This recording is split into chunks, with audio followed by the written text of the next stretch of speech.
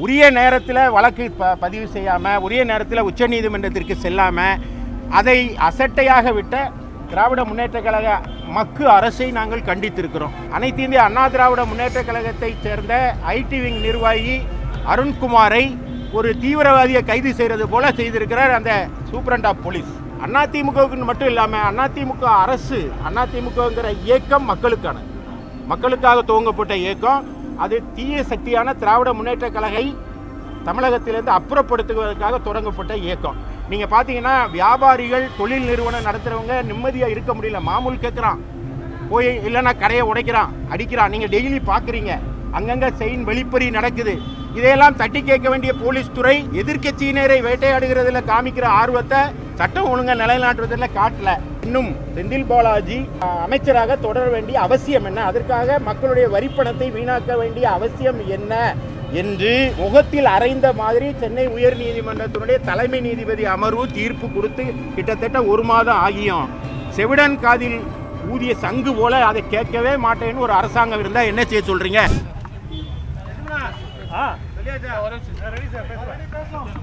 Sir, அனைத்து இந்திய அண்ணா திராவிட முன்னேற்ற கழகம் அண்ணன் எடப்பாடியார் அவர்களின் தலைமையில் சீரிய நடை போடுகிறது என்பதை எடுத்துக்காட்டும் விதமாக அனைத்து இந்திய அண்ணா திராவிட முன்னேற்ற கழகத்தினுடைய வழக்கறிஞர் பிரிவு ஆலோசனை கூட்டம் இப்பொழுது நடைபெற்று முடிந்தது. இதில் பல்வேறு தீர்மானங்களை நாங்கள் போட்டிருக்கோம். தமிழகத்திற்கு அனைத்து உரிமைகளையும் சட்ட ரீதியாக பெற்றுத்தந்தது அண்ணா திராவிட முன்னேற்ற கழகம் தான் உங்களுக்கு தெரியும். காவிரி நதிநீர் உரிமையாக இருந்தாலும் முல்லை பெரியாராக இருந்தாலும் புரட்சித் தலைவர் காலத்திலும் சரி புரட்சித் தலைவி அம்மா அவர்கள் காலத்திலும் சரி அதற்கு பின்பு வந்த புரட்சி தமிழர் அண்ணன் எடப்பாடியார் காலத்திலையும் சட்ட ரீதியாக பல்வேறு சலுகைகளையும் உரிமைகளையும் பெற்றுத்தந்தது அண்ணா திராவிட முன்னேற்ற கழகம். அந்த வகையில் காவிரி நதிநீர் உரிமையை பறிகொடுத்து விட்டு அசட்டையாக அலட்சியமாக ஒரு மக்கு அரசாக இருக்கிற தமிழ்நாடு அரசு விவசாயிகளை கையேந்த வைத்திருக்கிறது அதை நாங்கள் கண்டிச்சிருக்கிறோம். ஏன்னா இதை பெற்றுத்தந்தது அதிமுக அரசு. எங்களுடைய தலைவர்கள் அதை பெற்றுத்தந்தார்கள் ஆனால் அந்த உரிமையை இழந்து உரிய நேரத்தில் வழக்கு ப பதிவு செய்யாமல் உரிய நேரத்தில் உச்சநீதிமன்றத்திற்கு செல்லாமல் அதை அசட்டையாக விட்ட திராவிட முன்னேற்ற கழக மக்கு அரசை நாங்கள் கண்டித்திருக்கிறோம். ஒன்று ரெண்டாவது தமிழ்நாடு முழுவதும் எதேச்சதிகாரமான போக்கா போலீஸ் துறை இருக்குது. அதாவது உச்சநீதிமன்றம் பல்வேறு தீர்ப்புகளை கொடுத்துருக்கு.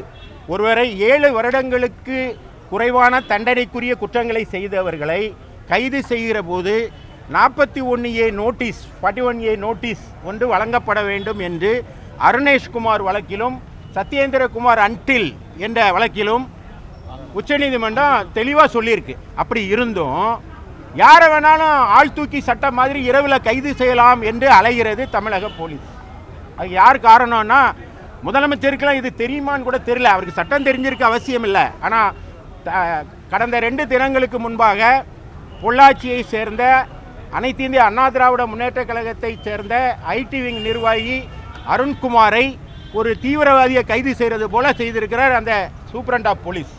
நான் என்னென்ன கேட்குறேன்னா சூப்பரண்ட் ஆஃப் போலீஸ் படிச்சுட்டு தானே வந்திருப்பார் சட்டம் படிச்சிருப்பார்ல. நாற்பத்தொன்னியை ஏ நோட்டீஸ் ஏன் கொடுக்கல? நாற்பத்தொன்று ஏ நோட்டீஸ் கொடுக்காம செய்தால் அது கண்டெம்ட் என்று தெரியும். நாற்பத்தொன்று ஏ நோட்டீஸ் கொடுக்கலன்னா அது பெயிலுக்கு ஒரு கிரவுண்டுன்னு தெரியும். ஆனாலும் தொடர்ந்து இதை செய்து வருகிற தமிழக அரசை நான் வன்மையாக கண்டிச்சிருக்கிறோம். அதுபோல் அதிமுகவுக்கு மட்டும் இல்லாமல் அதிமுக அரசு அதிமுகங்கிற இயக்கம் மக்களுக்கானது. மக்களுக்காக துவங்கப்பட்ட இயக்கம். அது தீய சக்தியான திராவிட முன்னேற்ற கழகை தமிழகத்திலிருந்து அப்புறப்படுத்துவதற்காக தொடங்கப்பட்ட இயக்கம். எனவே திமுக அதிமுக முன்னாள் அமைச்சர்கள் மீது தொண்டர்கள் மீது போடுறப்பட வழக்குகளை உறுதியாக எதிர்கொள்வோம் சட்ட ரீதியாக எதிர்கொள்வோங்கிறது ஒரு தீர்மானம். அது மட்டும் இல்லாமல் பொதுமக்களுக்கு உதவி செய்யணும்னு சொல்லியிருக்கோம். எப்படின்னா நீங்கள் பார்த்தீங்கன்னா வியாபாரிகள் தொழில் நிறுவனம் நடத்துகிறவங்க நிம்மதியாக இருக்க முடியல. மாமூல் கேட்குறான் போய் இல்லைன்னா கடையை உடைக்கிறான் அடிக்கிறான். நீங்கள் டெய்லி பார்க்குறீங்க அங்கங்கே செயின் வெளிப்பறி நடக்குது. இதையெல்லாம் தட்டி கேட்க வேண்டிய போலீஸ் துறை எதிர்க்கட்சியினரை வேட்டையாடுகிறதுல காமிக்கிற ஆர்வத்தை சட்டம் ஒழுங்கை நிலைநாட்டுவதில் காட்டலை. அப்போ அவங்க எங்கே போவாங்கன்னா அவங்களுக்கு சட்ட வழிகாட்டுவதற்கு அங்கே சட்ட ரீதியாக அவர்களுக்கு துணையாக இருக்கிறதுக்கு அதிமுக வழக்கறிஞர் பிரிவு துணை நிற்கும்னு சொல்லியிருக்கோம்.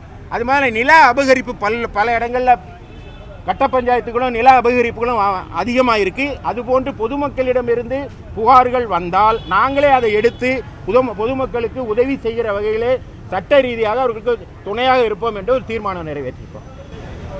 சார் இப்போ ஏற்கனவே செந்தில் பாலாஜி விவகாரத்தில் தலைமை நீதிபதி ஒரு இது சொல்லியிருக்காரு கருத்து சொல்லியிருக்காங்க அதையும் மீறி இன்னும் அவர் இலாக்கா இல்லாத அமைச்சராக தொடர்ந்துட்டு இருக்காரு. அதாவது? அதை நான் சொன்னேன் மக்கு அரசுன்னு ஒன்று சொன்னேன். அதாவது தலைமை நீதிபதி ஒரு கருத்து சொல்லியிருக்காரு. ஒன் சிக்ஸ்டி ஃபோரில் கவர்னருக்கு அதிகாரம் இல்லைன்னு சொன்னாங்க. நாங்கள் நீதிமன்றம் தலையிடணும்னு ஒரு வழக்கு போட்டோம். நீதிமன்றம் என்ன சொல்லுச்சுன்னா அவர் இன்னும் செந்தில் பாலாஜி அமைச்சராக தொடர வேண்டிய அவசியம் என்ன? அதற்காக மக்களுடைய வரிப்பணத்தை வீணாக்க வேண்டிய அவசியம் என்ன? என்று முகத்தில் அறைந்த மாதிரி சென்னை உயர் நீதிமன்றத்தினுடைய தலைமை நீதிபதி அமர்வு தீர்ப்பு கொடுத்து கிட்டத்தட்ட ஒரு மாதம் ஆகியும். செவிடன் காதில் ஊதிய சங்கு போல அதை கேட்கவே மாட்டேன்னு ஒரு அரசாங்கம் இருந்தால் என்ன செய்ய சொல்றீங்க? எனவே ஒரு நாள் இந்த நிலைமைக்கெல்லாம் மாறுதல் வரும். அந்த மாறுதலை செய்வதற்கு தேர்தல் வரும் என்று சொன்னாங்க. தேர்தல் வர்றது ஒரு புறம் இருக்கட்டும். அனைத்து இந்த அண்ணா திராவிட முன்னேற்ற கழகத்தினுடைய வழக்கறிஞர் பிரிவு உறுதியாக இந்த நிலையை மாற்ற போராடும்.